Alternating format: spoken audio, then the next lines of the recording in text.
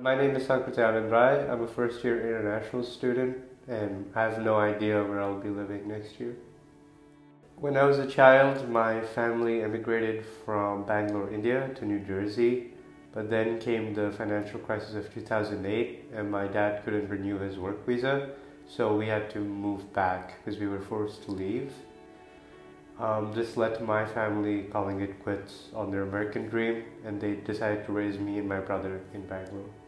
I left home when I was 17. I was accepted to universities all around the world, but I chose UC Santa Cruz.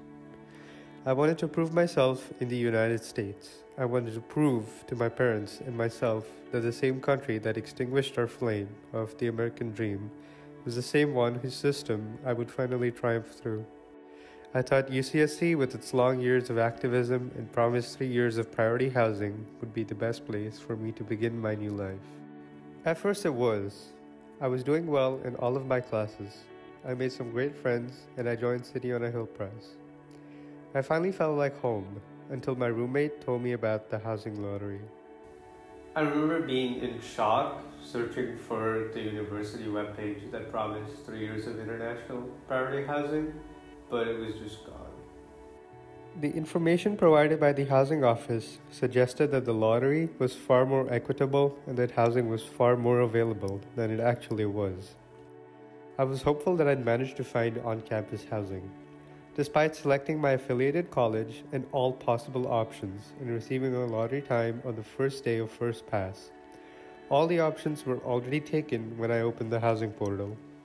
Finding off campus housing is currently impossible for me. My student visa doesn't currently grant me the ability to work off campus or have a social security number. Most rental screening services require one for tenant applications. If I'm unable to show an immigration officer my place of residence, I will have to move back to India. None of my credits would transfer over, and I'd have to restart as though I just graduated high school.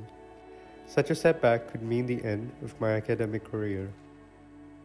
I've had to rely on some of my family members here in the United States. They help me get bank statements and internet bills for my documentation. My uncle is helping me start the process of getting my California's driver's license. I haven't told my parents yet, and it's led me to live two lives. They're still under the impression that I have three years of priority housing and I'm going to be living on campus next year. I haven't told them about the lottery and my current uncertainty. There's almost nothing they can do but worry. My initial application to the DMV was rejected because two of the addresses on my documents didn't match. So I was really skeptical going into it a second time, but I managed to get all the right documentation. Even though my future is a bit uncertain, I'm still really happy to be where I am I love all the friends I've made. I've kept it all A's, and I'm a proud banana slug. I'm still determined to get housing. I just wish the administration would share that same goal.